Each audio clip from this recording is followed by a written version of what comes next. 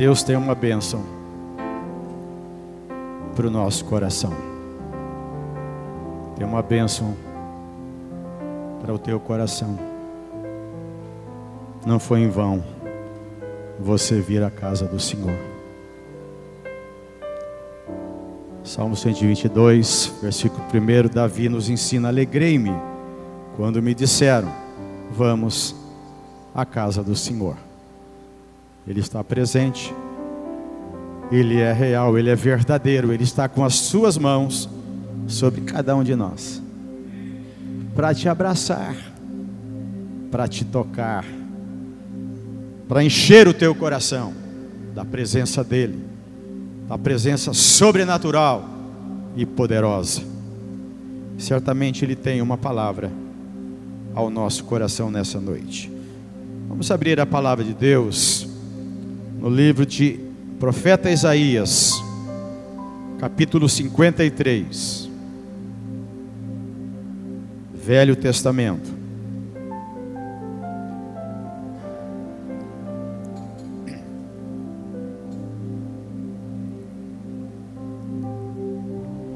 Isaías, capítulo 53, nós vamos ler do versículo 1 até o 12.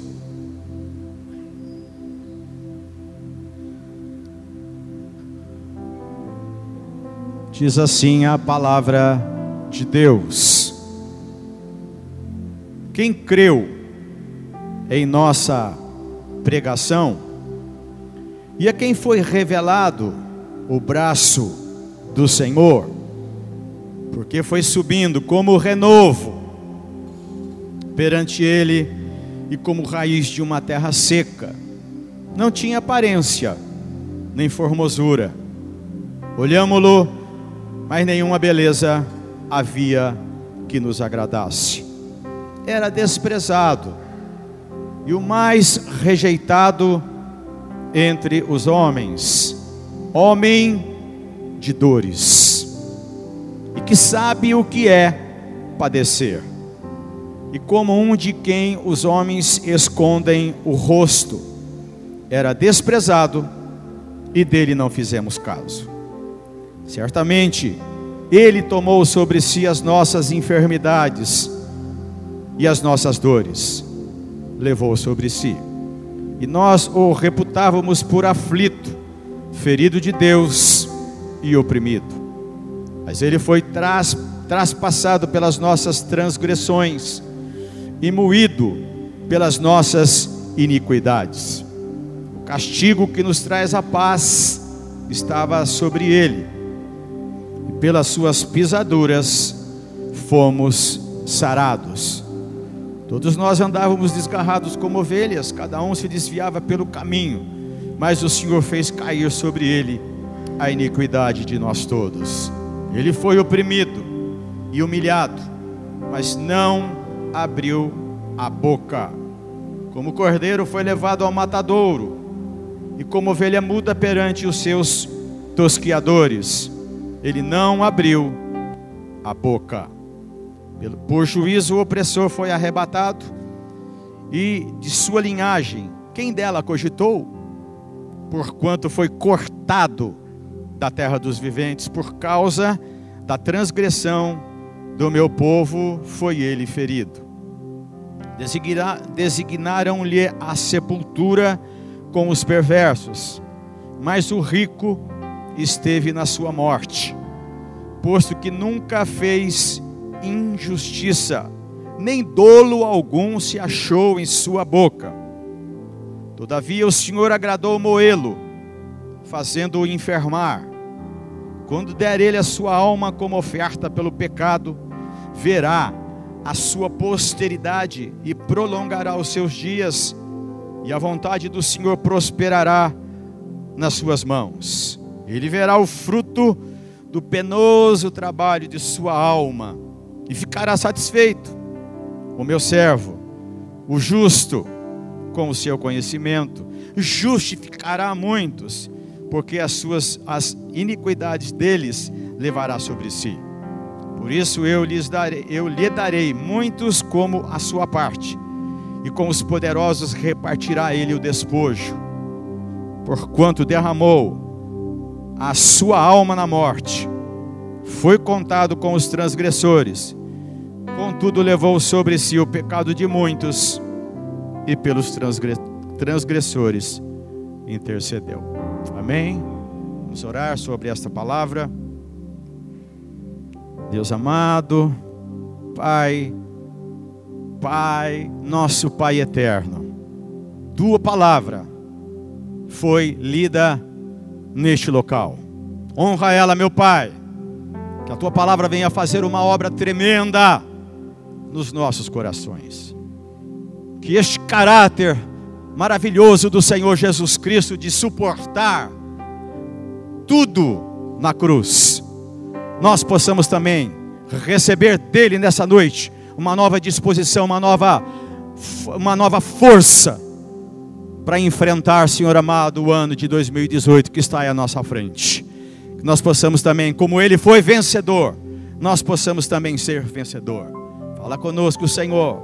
Marca com o teu sangue esta hora Seja a tua palavra, Senhor, anunciada através do Espírito Santo com liberdade no nosso meio. Caia por terra toda investida do maligno, toda investida das trevas e do pecado. Que o Senhor triunfe sobre cada um de nós, sobre este ambiente, porque aqui, vencendo, vem Jesus. Glorificamos ao Senhor e te agradecemos. Temos certeza que o Senhor vai fazer a obra. Oramos em nome de Jesus. Amém, amados. Glória a Deus. Deus me deu um tema esquisito nessa noite. Eu estava orando ao Senhor e buscando um tema. E Deus falou ao meu coração, o Espírito Santo falou claramente. O tema vai ser Jesus anda na contramão do pecado. Grava bem isso no teu coração. Jesus anda na contramão do pecado. Deus colocou esse trecho no meu coração. Nós vamos comentar algumas coisas aqui. Feliz de ver aqui, Pastor Chico. Glória a Deus pela sua vida. É...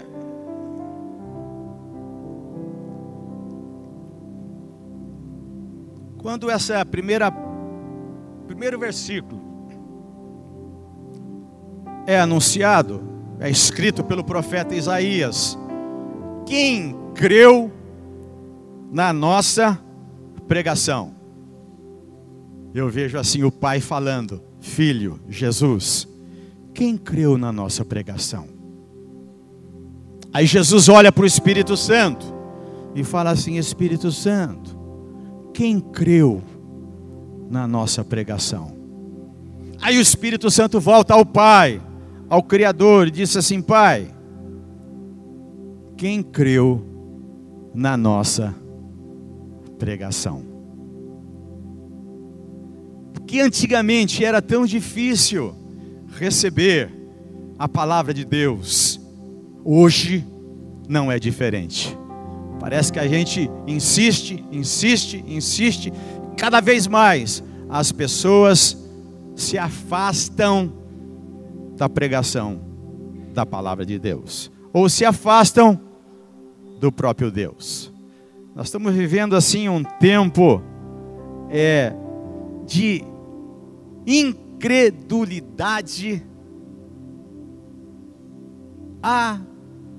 abundante. Nunca a gente anda no meio das pessoas, a gente vive conversando com pessoas e a gente percebe como o coração das pessoas estão fechados. É por isso que Deus começa a ter essa conversa. Primeiro, antes de abrir todo este capítulo de Isaías 53, é quem creu na nossa pregação. E aí você vai lá para João capítulo 12, versículo 38.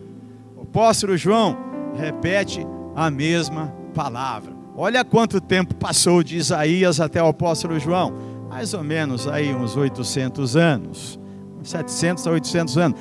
Próprio apóstolo João escreve a mesma palavra que Isaías ministrou. escreveu, ele volta a dizer. Aí o apóstolo Paulo, lá em Romanos capítulo 10, versículo 16, ele volta a dizer a mesma coisa. Quem creu na nossa pregação. Quando Deus fala nossa, é um trabalho coletivo, é um trabalho, não é individual, é um trabalho coletivo. Isso é para a igreja do Senhor. E é no versículo 17 de Romanos capítulo 10, lá está escrito que a fé vem pelo ouvir a pregação da palavra de Cristo, ou de ouvir outras versões, a palavra de Deus. Então a gente vê que, na verdade, é, o, nós estamos vivendo um tempo onde a revelação da incredulidade é muito forte, cegueira, totalmente uma cegueira espiritual. Os olhos fechados para olhar para cima. As pessoas hoje olham para baixo. Espero que você esteja olhando para cima, para o Senhor, para o Autor e Consumador da nossa fé. Entende? Isso é muito importante, porque nós estamos vivendo dias difíceis, muito difíceis, dias cruéis, dias de muita maldade, de muita violência. E nós não podemos nos esquecer de Isaías 53. Ou seja, aqui Deus está, está dizendo assim: não se esqueça da mensagem da cruz, daquilo que a cruz proporcionou, daquilo que a cruz representa para a igreja, representa para a minha vida, representa para a sua vida. Nós temos tempos difíceis, nós temos tempo de tempestade, tempos de ventos fortes. Todos nós passamos por isso, não é verdade? Mas quem creu em nossa pregação? Eu, creio, eu, eu, eu tenho me esforçado para crer a cada dia mais na palavra do Senhor, recebendo a presença dEle em minha vida. Mesmo que às vezes as ondas, os, os ventos são muito fortes. A maldade chega aí com tudo, a violência. Tenho procurado resistir, tenho procurado andar e receber na minha vida a mensagem da cruz, a mensagem que custou a vida do Filho de Deus. Não é verdade? Nós estamos vivendo um tempo onde o pecado está aí abundantemente, devorando como um cupim. Esses dias deu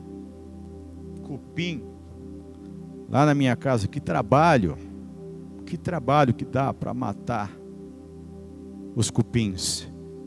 Vem por baixo da terra, vem com as aleluias, mas ele chega. 90% de Bauru está contaminado com cupim. Satanás entra devagarinho por baixo como um cupim, querendo derrubar você, derrubar a mim. Ele é astuto. Entende? O que Deus quer falar conosco nessa noite? Deus quer despertar a tua fé para que você não saia da cruz. Não saia dos pés da cruz, não saia dos pés de Cristo. A Bíblia diz que aquele que perseverar até o fim será salvo. Depois de apresentar esse primeiro versículo, a palavra do Senhor traz uma coisa boa para cada um de nós. A Bíblia diz no versículo 2: foi subindo como um renovo. É esse renovo. Sabe quem é esse renovo? É Jesus na tua vida. É Jesus na minha vida. E a Bíblia diz que ele foi subindo como renovo, é, no, é, como perante ele, e como raiz de uma terra seca um lugar sem vida, um lugar endurecido. Mas o renovo chegou lá. Sabe o que é, que é renovo, meu irmão? É aquele brotinho que nasce, sabe? No meu tempo de criança, não sei se hoje, as mães começam, as mães diziam assim, ó, nasceu o meu rebento. Não sei se você é desse tempo aí. A senhora, tem alguns que faz assim, meio assim, rebento. Esse é o meu rebento, o meu filhinho, a minha filhinha. Olha que bonitinho, que lindo, vai ter uma vida pela frente. Esse renovo é Jesus nessa situação aqui. E Ele quer continuar a brotar na tua vida, na minha vida. Ele quer continuar fazendo uma obra poderosa. Ele quer continuar te dar esperança de renovar o teu coração, renovar as tuas esperanças, a tua vida, os propósitos que Ele tem diante de você. Renovo. É possível, meu amado, Deus fazer um renovo em nós essa noite. Eu fui procurar saber o que é renovo, já disse, o broto, o rebento. Mas diz mais uma coisa: que o renovo significa novidades. Eu preciso de muitas novidades de Deus. Acho que você precisa também. Entende? A gente precisa sair do casulo. A gente precisa sair do nosso mundo particular e entrar, dar oportunidade a esse renovo de trazer grandes e poderosas novidades na nossa vida durante este ano que agora estamos vivendo ele. As aflições virão, os ventos virão, as dificuldades virão, mas o renovo está aí.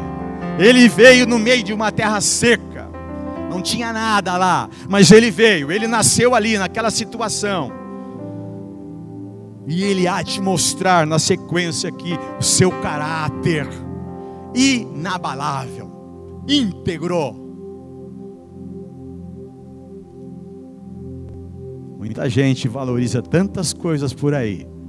Nós precisamos valorizar este capítulo de Isaías 53, onde mostra o currículo, a vida, o espelho do Filho de Deus. Isso, quando ele chegou aqui, foi gerado no ventre de Maria, virgem pelo Espírito Santo. Ele sabia o que o esperava. E nós também sabemos, porque Jesus está cansado de falar: no mundo tereis aflições, mas tem de bom ânimo, eu venci o mundo nós vamos ter muitas lutas, muitas perseguições. Olha para a Bolívia aí, ó. Temos que orar pela Bolívia, pelos nossos irmãos lá. Lá está decretado: se alguém evangelizar, vai preso. 12 anos, 15 anos, sei lá. E pode nem ser poupado a sua vida. Jesus sabia que essa hora chegaria na vida dele. A palavra de Deus diz: Zacarias, profeta do Senhor, ele profetizou. Ele disse assim, Zacarias 3:8: Eis que farei vir o meu servo, o renovo. Vai chegar o renovo. Quem sabe na tua vida não chegou, vai chegar hoje, pela fé.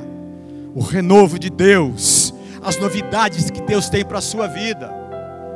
Você está assim, ah, minha vida será que vai ser igual a 2017, 2016? Vai não, em nome de Jesus. Seja quebrado essa estrutura maligna nas nossas vidas, para que o renovo chegue e tenha espaço suficiente para transformar o nosso coração, transformar a nossa vida. Oh, esse sol da justiça do Senhor há de brilhar muito na sua vida neste ano. Nós temos que crer crer, tão somente crer. Deus perguntou: quem creu na nossa pregação? Eu creio, você crê. E tem muita gente que crê. Muita gente hoje, aqui em Bauru está reunido, no estado de São Paulo está reunido, no Brasil está reunido, crendo na pregação da palavra de Deus. E esse renovo está aí. Zacarias volta a dizer, Deus volta a revelar em Isaías 6,12: Eis aqui o homem cujo, novo, cujo nome é renovo, ele brotará do seu lugar e edificará o templo do Senhor. Estava uma bagunça, o pecado estava dominando, como vem dominando há muito tempo. A força do pecado, a força da maldade continua a crescer neste mundo que nós vivemos. Mas o renovo chegou, Jesus chegou. Aqui em Isaías não, mas ele chega lá no Novo Testamento e ele está presente na nossa vida para renovar a tua vida, para renovar o teu coração, para renovar os teus sonhos.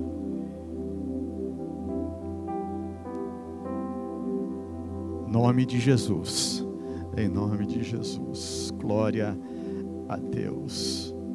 E quando esse, aleluia, esse rebento passa pela terra seca.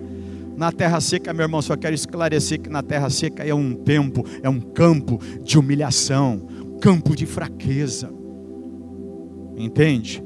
É esse caminho que Jesus passou, um tempo de grande humilhação. Você sabe muito bem disso. Você conhece a história do Senhor Jesus. Ó meu amado, quando é, nós pre precisamos desse renovo, e eu pergunto para mim, Roberto, é possível esse renovo acontecer na minha vida? Eu creio, você crê, nós cremos que o renovo vai acontecer na, na, nossa vida. Mas como é que ele vai, como é que vai acontecer isso daí, pastor? Como é que é? é, é Deus me deu uma resposta. Somente com a presença e o poder do Espírito Santo. Sem Espírito Santo não tem obra. Sem Espírito Santo, Jesus não triunfaria, não venceria. Entende? Essa força interior, essa presença tremenda, viva, que está dentro de cada um de nós, é o Espírito Santo, Espírito de Deus. Ele habita ele está aí, na tua vida, na minha vida, na igreja. É Ele que vai nos levar aos céus, no arrebatamento da igreja, que vai nos apresentar a Jesus. Valorize o Espírito Santo na tua vida. Somente com a presença dEle é que o renovo vai ser é, abençoado, vai ser frutífero eu volto a repetir, eu amo falar do Espírito Santo. Tenho procurado ter uma amizade com Ele bem próxima, bem, bem tete a tete. Não nessa segunda, na próxima segunda-feira, vou completar 48 anos que eu conheci o Espírito Santo. 48 anos. Muitos que nasceram comigo, experimentaram o renovo comigo lá na década de final dos anos 60, começo dos anos 70, já pararam pelo caminho. Muitos pararam.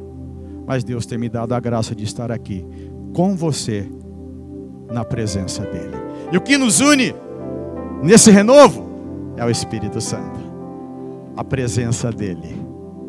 O fogo dele a Bíblia diz em Hebreus que o nosso Deus é um fogo consumidor. Consome o pecado, consome a mentira, consome a enfermidade, consome as obras malignas. O nosso Deus é tremendo, mas o Espírito Santo está aí na tua vida, está na minha vida. Que bênção, que bênção! Às vezes eu fico andando para lá, para cá em casa sozinho, pego a Bíblia, abraço ela e falo assim: Posso te abraçar, Espírito Santo? Viajando um pouco.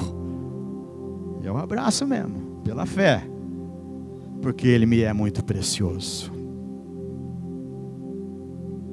Pecar, errar, nós erramos, mas Ele está na nossa vida. Aleluia. Ele forma em nós um novo nascimento. João, o apóstolo João escreve em 1 João capítulo 5, versículo 4, ele fala assim: todo aquele que é nascido de Deus vence o mundo. E esta é a vitória que vence o mundo. A nossa fé. A nossa fé. Entende? Você é nascido de Deus, eu também sou. Nós somos nascidos de Deus. O renovo sempre vai estar presente na nossa vida. E daí então, meu amado? Só quero citar mais um versículo. Jó fala da personalidade do Espírito Santo. Jó, para quem não o conhece, foi um dos homens que mais sofreu na Bíblia. O livro de Jó conta da sua história, tudo que ele perdeu, tudo que ele sofreu. Mas ele escreve em Jó capítulo 33, versículo 4, ele fala da personalidade do Espírito Santo, do Espírito da verdade. Ele fala assim: O Espírito de Deus me fez, e o sopro do Todo-Poderoso me dá vida. Hein? Sopro do Todo-Poderoso me dá vida. O Espírito de Deus me fez. Olha o que Jó falou. E Jó, se você não sabe, ou ainda não identificou, ou está sabendo hoje, ele viveu antes de Abraão, lá nos primórdios, foram um dos primeiros homens que andou na presença de Deus.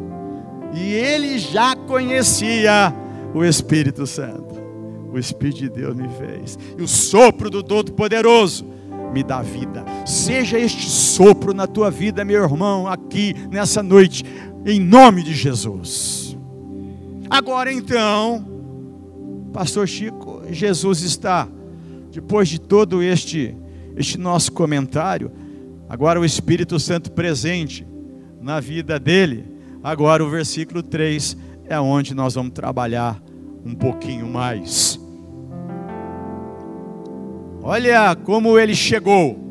Ele era desprezado, diz a Bíblia. E o mais rejeitado ou indigno entre os homens. Já pensou uma pessoa assim, cara? Hein? Deve ser uma coisa assim. E ele, o próprio Messias, que viria, o próprio Filho de Deus, que viria para salvar a humanidade, salvar todos os homens mas ele já teve esta característica. Ele estava bem reservado, bem preparado para essa hora, porque ele tinha o Espírito Santo. Ele tinha dentro dele o espírito de obediência para ir até o fim e cumprir os planos do Pai. Ele era desprezado e o mais rejeitado, indigno entre os homens. Nós vamos trabalhar um pouquinho esse versículo, esse texto. Homem de dores. Se eu perguntar para cada um aqui, a começar por mim, quem já não teve uma dor de cabeça? Quem já não teve uma dor em alguma parte do corpo? Ou às vezes até aqui hoje tá, veio com dor. Ou tem alguém lá na tua casa com dor.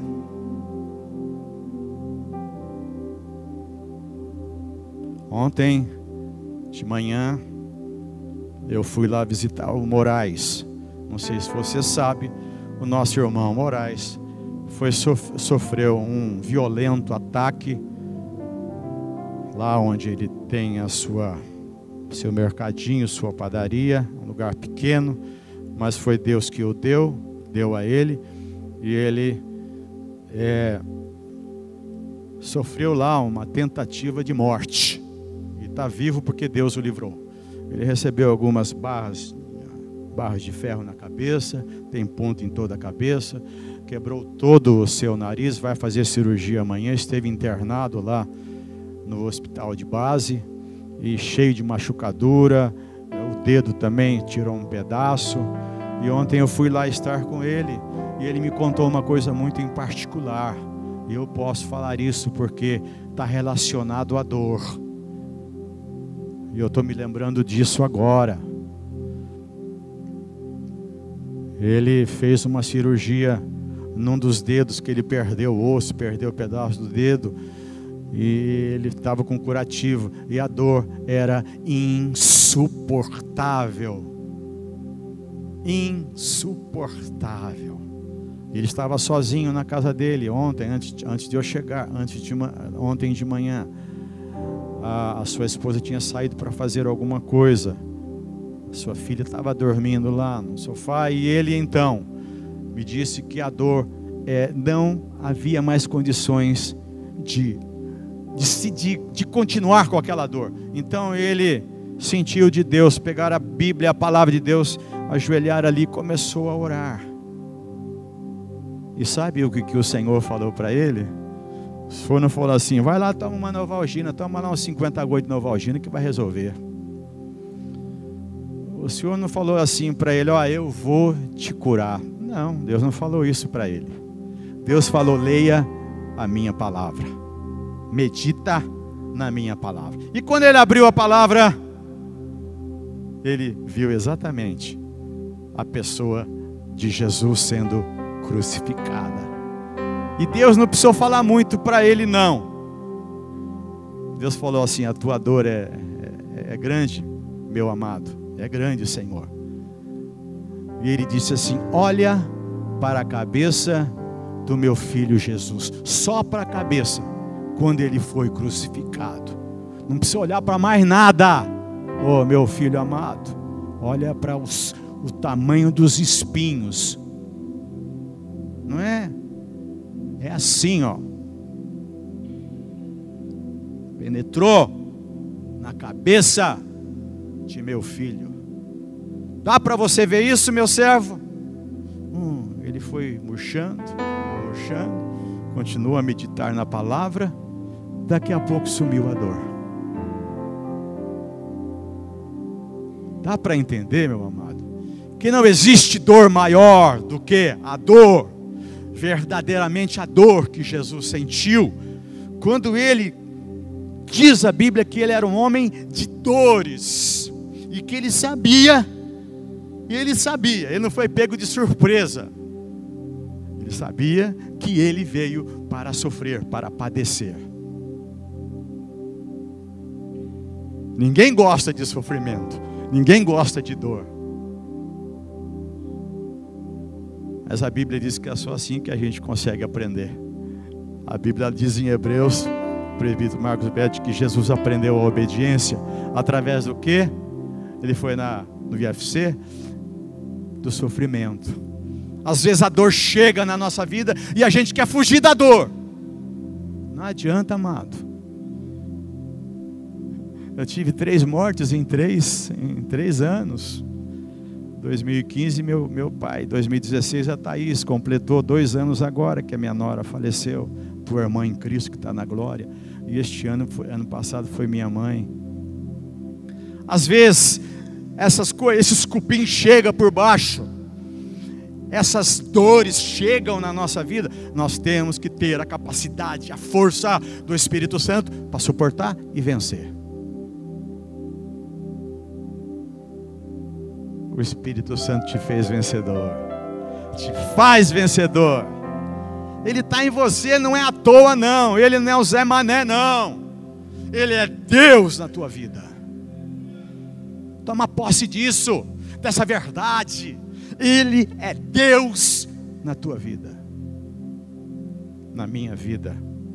Homem de dores e que sabe o que é sofrimento. Aleluia. Sabe o que é desprezado, meu irmão? É aquela pessoa que ela é abandonada e odiada. Não foi assim com José, filho de Jacó? José, um dos filhos de Jacó, que foi vendido por 20, 20 ciclos de prata. Jesus foi vendido por 30 moedas de prata, mais ou menos, quase que igual. Mas José foi abandonado, José foi odiado.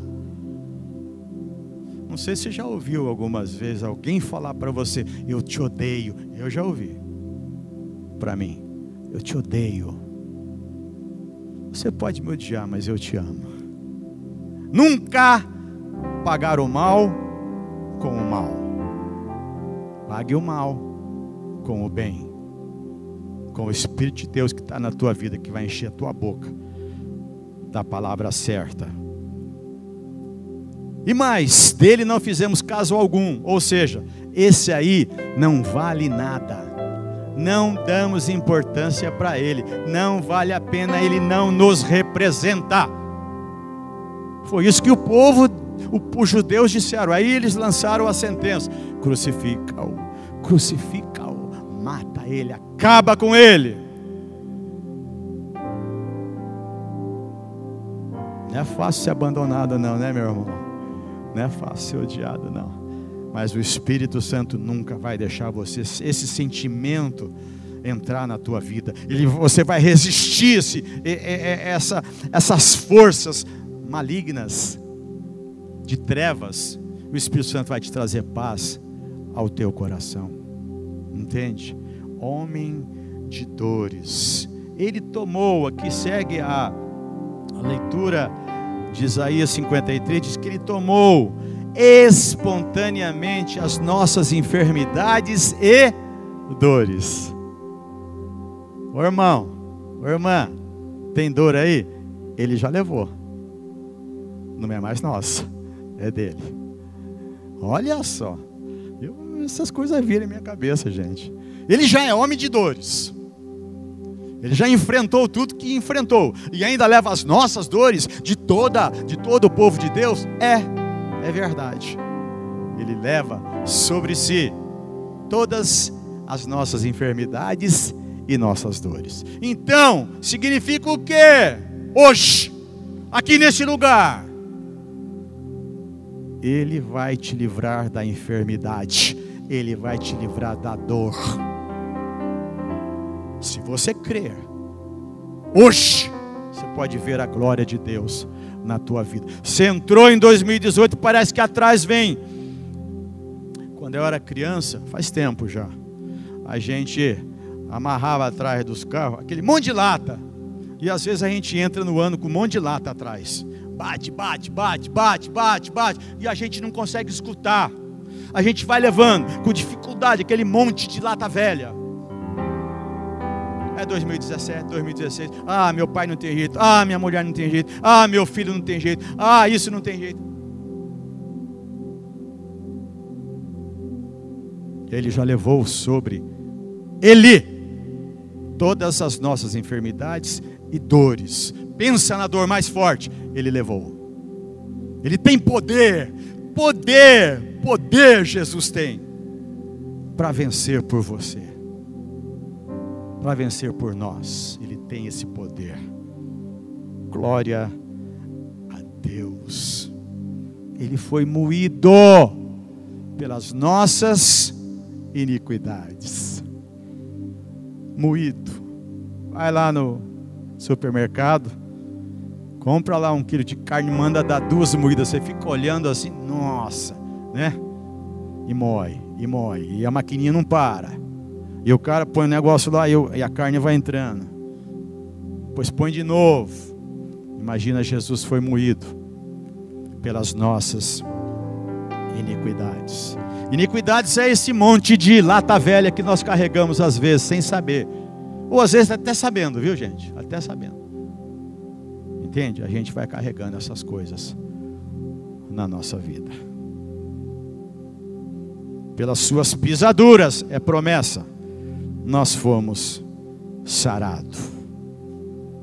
Agora, meu amado, Jesus foi à cruz.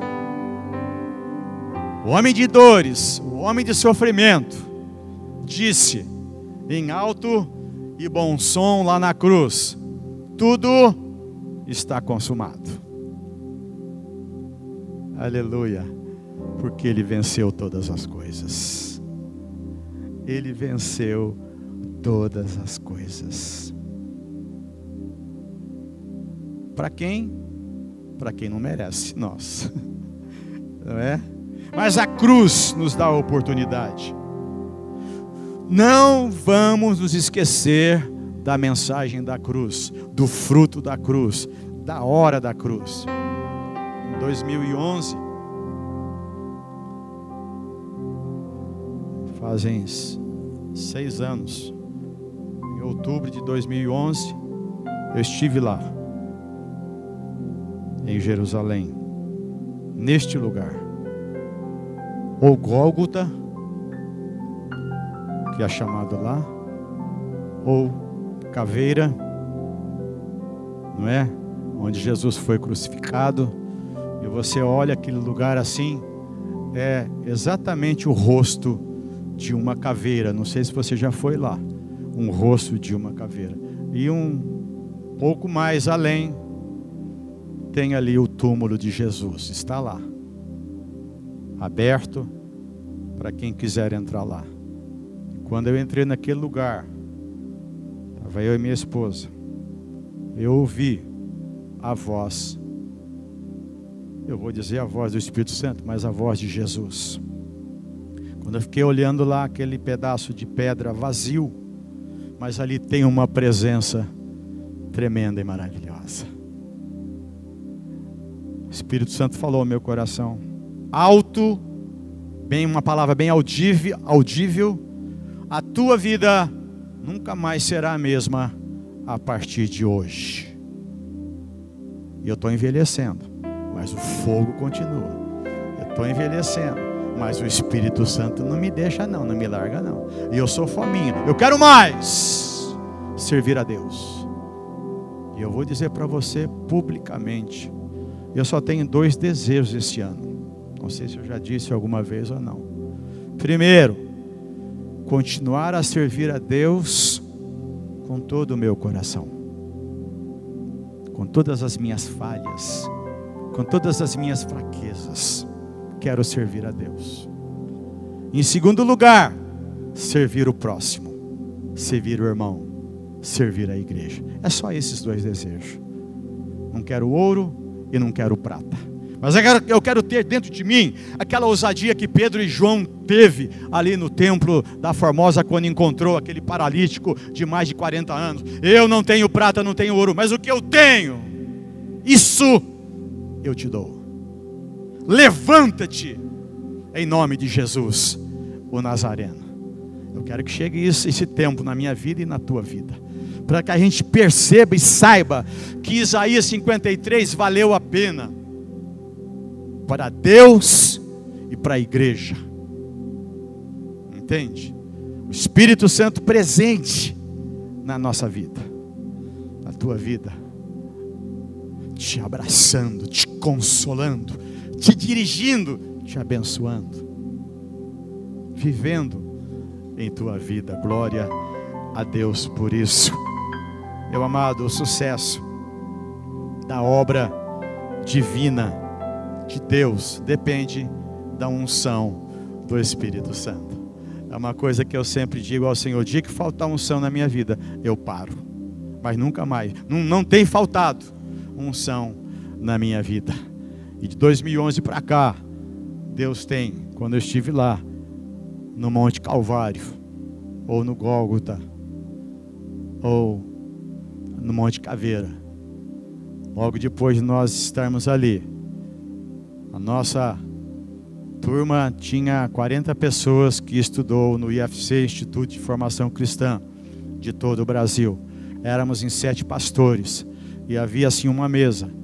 E ali nós fizemos a ceia do Senhor. Inesquecível. Quando você crê, Deus tem novidades para a sua vida. Deus tem um renovo, tem um rebento. Deus tem broto para colocar na tua vida nesta noite, em nome de Jesus. Profetizo isso. Profetizo isso. Agora eu quero falar uma, antes de é, de eu falar aqui sobre uma pessoa que Deus colocou no meu coração, eu quero te incentivar a dizer a palavra de Deus, a dizer e a viver e praticar a palavra de Deus.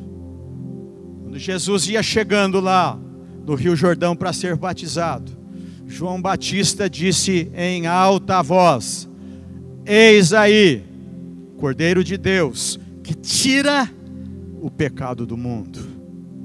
Aí Jesus também trouxe uma palavra para os seus discípulos: Eis que vos dou autoridade vos dou poder para pisar serpentes e escorpiões. Serpente sempre está junto com o escorpião. E contra toda a força do inimigo, e nada vos fará dano algum. Mil cairão ao teu lado, dez mil à tua direita, mas tu, meu servo, minha serva, não será atingido. Porque ele te livrará do laço do passarinheiro. Estou citando a palavra. Vai recebendo aí, porque você vai saber por quê. Você tem que estar forte, forte, muito forte, ao sair daqui nessa noite. Forte em Cristo, abençoado em Cristo. A palavra de Deus diz lá em, no livro de Efésios, capítulo 6: revestivos de toda a armadura de Deus, para que possais ficar firmes, firmes nas investidas do diabo contra a nossa vida. Revestivos de todo, toda a armadura de Deus e fique firme, resista o mal, resista o mal. E mais, lá em Efésios 6 diz que você tem que embraçar o escudo da fé, pelo qual você vai apagar todos os dardos inflamados do maligno. Sabe por que estou citando esses versículos, amados? Para você ter força no teu coração, força na tua fé, para que você enfrente, como nós vamos, nós vamos ler agora um trecho da Bíblia, onde Jesus, numa manhã, num dia, ele fez uma obra que nenhum de nós teria condições de fazer. Quando ele chegou, ele saiu. Jesus saiu. É, estava, ele estava de um lado no mar das Oliveiras, ou Lago das Oliveiras, e ele foi passar para o outro lado, e ele dormiu no barco, e veio o vento, e veio o forte temporal.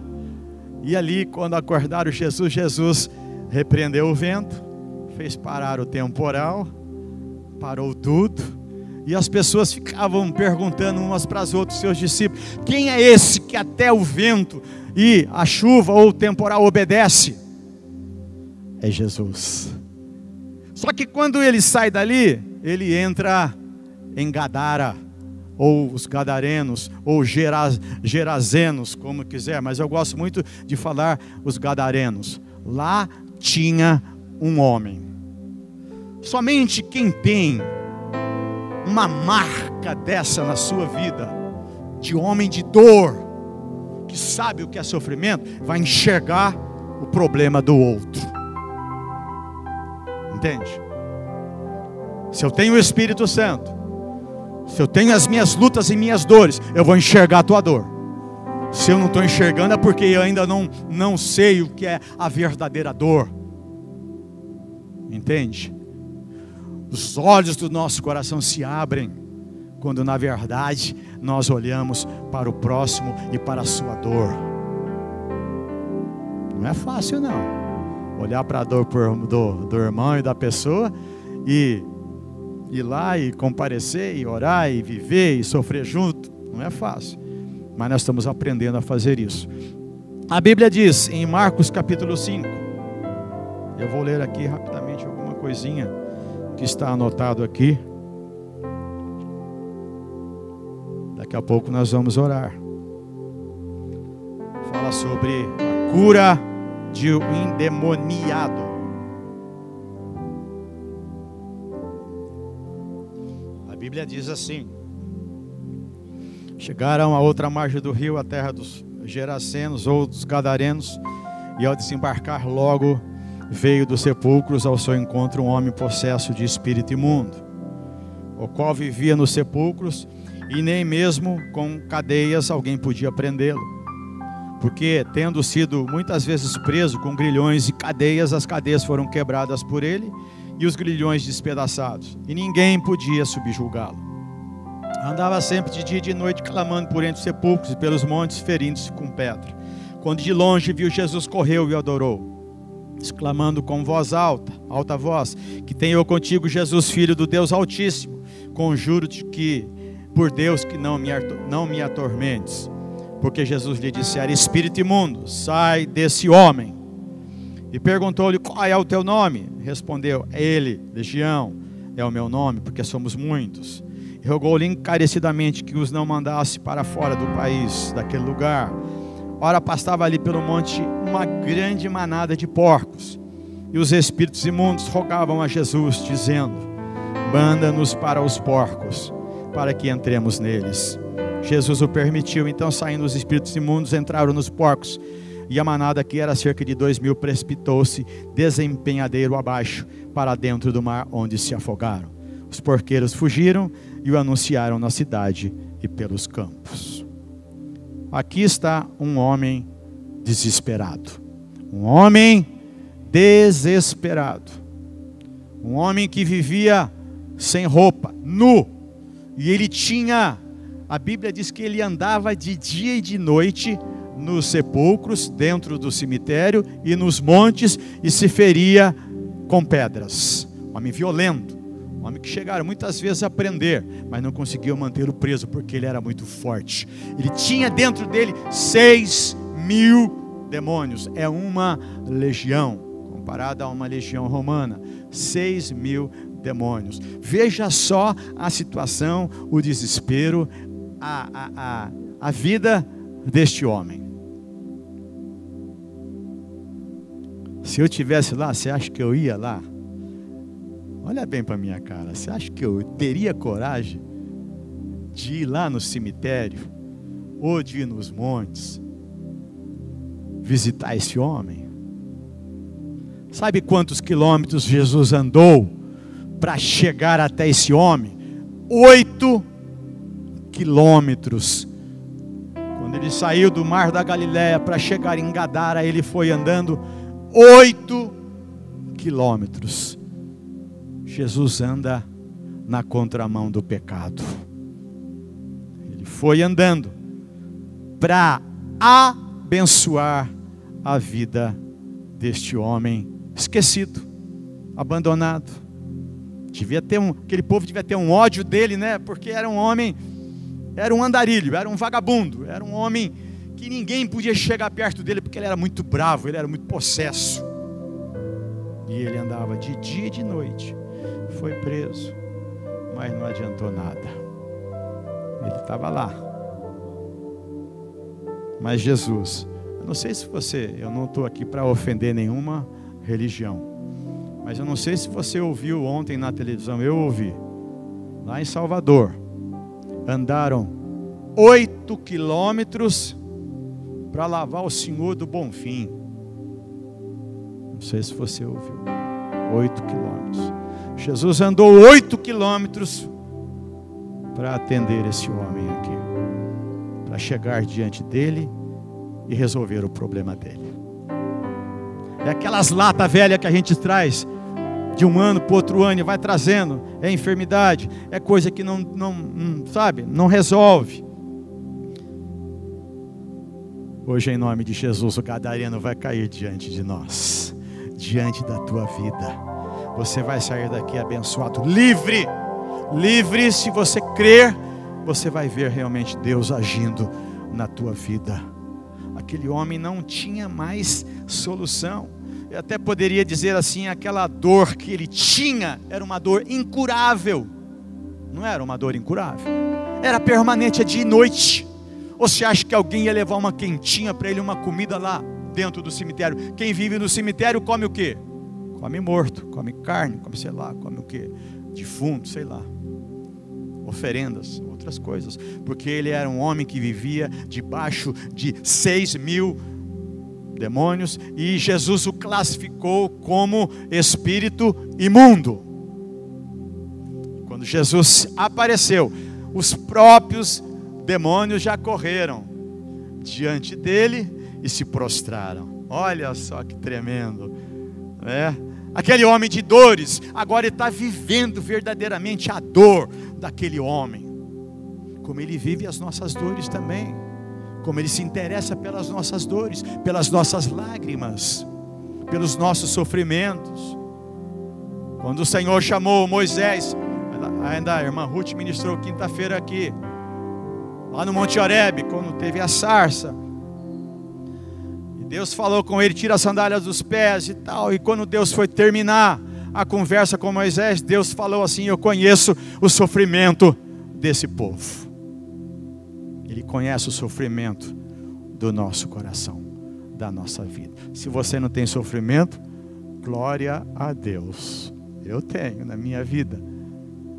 Porque nem tudo é conforme nós queremos, mas tudo é a vida está aí diante de nós. Esse homem aqui, eu não sei o que aconteceu com ele, para ele ter toda essa legião de, de demônios na vida dele. Não sei o que ele fez, mas ele foi abrindo uma brecha, abrindo hoje, e de repente ele está um homem. Eu até posso dizer assim que a sua identidade, o seu nome, se chama dor, porque a dor dele era intensa, incalculável, sabe? Quem é que pode chegar lá e resolver isso? Só o homem de dores, que sabe o que é sofrimento. Jesus chegou, os demônios se renderam, né?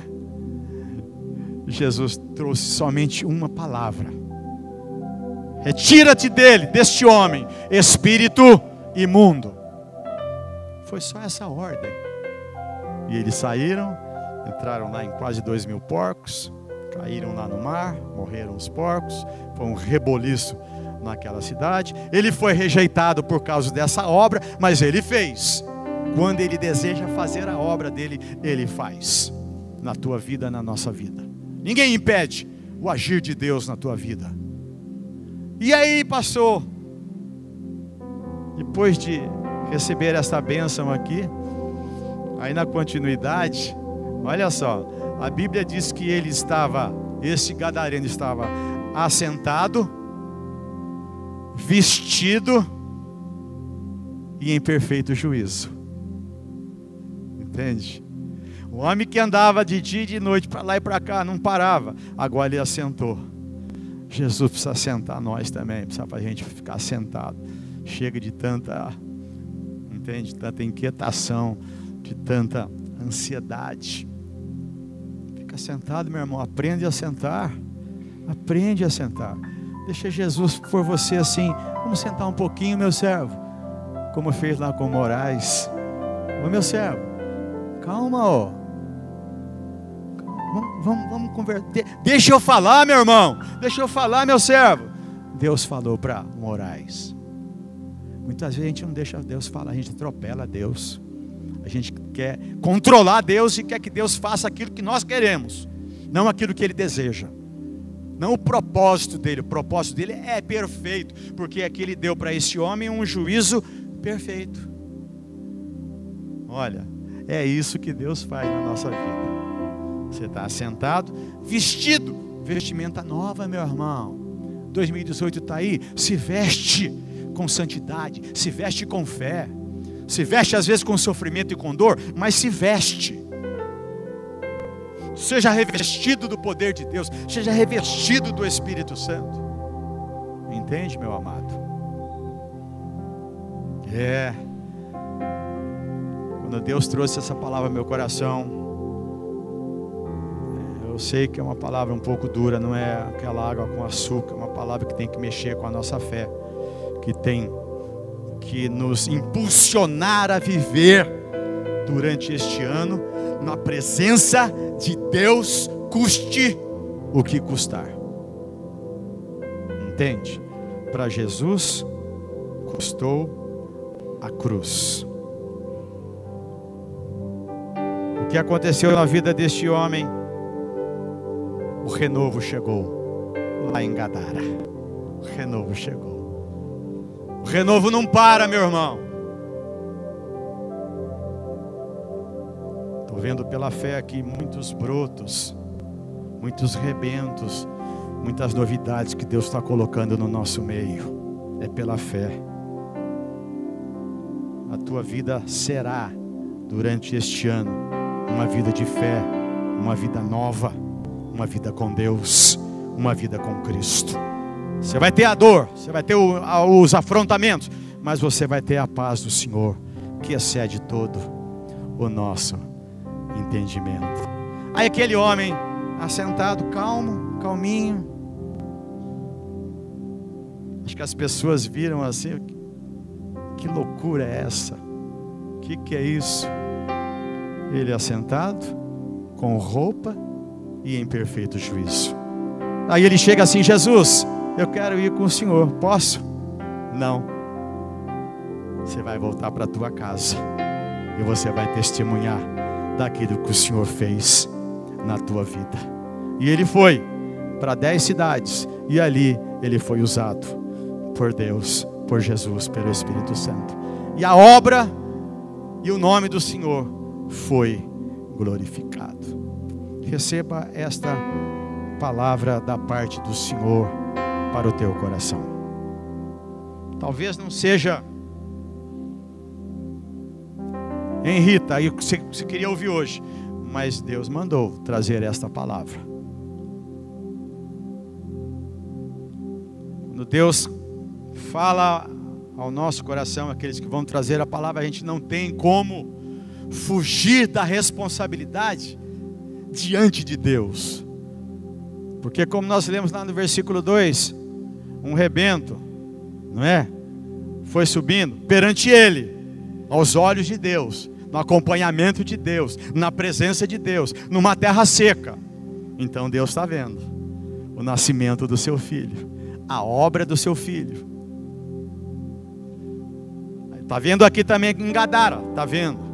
Mas ele viu na cruz aquilo que Deus fez completou com êxito, na unção do Espírito Santo, a obra que Deus tinha na vida de Jesus. Como Deus tem uma obra, plano, uma obra na vida de cada um que aqui está. Entende? Hoje é dia de nós termos aquela ousadia de andarmos os oito quilômetros e enfrentarmos em nome de Jesus, aquele homem de Gadara, que muitas vezes coisas daquele homem de Gadara está dentro de nós. Nós precisamos verdadeiramente de um renovo, de um poder sobrenatural do alto, poder de Deus sobre as nossas vidas, para que a gente suporte tudo em nome de Jesus. Você vai lembrar dessa palavra, você vai lembrar das coisas que o Senhor te disse nessa noite. Ou seja, sujeitai-vos, pois, a Deus, resistir ao diabo, e ele vai fugir de vós. E aí você vai viver de fé em fé, de glória em glória, até chegar o dia perfeito na tua vida. Não desista, não desanime, não pare, entende? Não fique preso à dor, ao sofrimento, mas olha para o homem de dores, que sabe o que é sofrimento, 800 anos antes dele chegar aqui, ele já sabia que ele ia passar por tudo. Aí ele chegou à brilhante conclusão, lá no Getsemane. Deus me levou lá também no Getsemane, um lugar tremendo, santo, de oração, um lugar todo cercado. Ali Jesus orou: Pai, não seja feito a minha vontade, mas a tua. Ali o homem de dores, que sabia o que era sofrimento, deu a sua vida por nós, deu a sua vida por cada ser humano. Este é o plano de Deus para a humanidade. Nós vamos ter um tempo de oração, pedir ao ministério de louvor que chegue aqui, vamos ter um louvor, e nós vamos ter a possibilidade de buscar em Cristo, buscar no Senhor, um renovo nesta noite. Se você precisa, de um renovo, de um toque de Deus, da presença de Deus. O altar está aqui. O Ministério do Louvor já vem chegando, vai tocar um hino e nós vamos então, pela fé, pela fé, meu irmão, pela fé, vir aqui à frente quem quem realmente sentiu no coração que precisa de um renovo. E que muitas vezes há aquelas latas velhas amarradas na nossa cintura que a gente está amarrando, que está carregando. Jesus pode cortar hoje. O homem de dores socorreu em Gadara, ele também vai nos socorrer e vai nos abençoar em nome de Jesus. Vamos ficar em pé.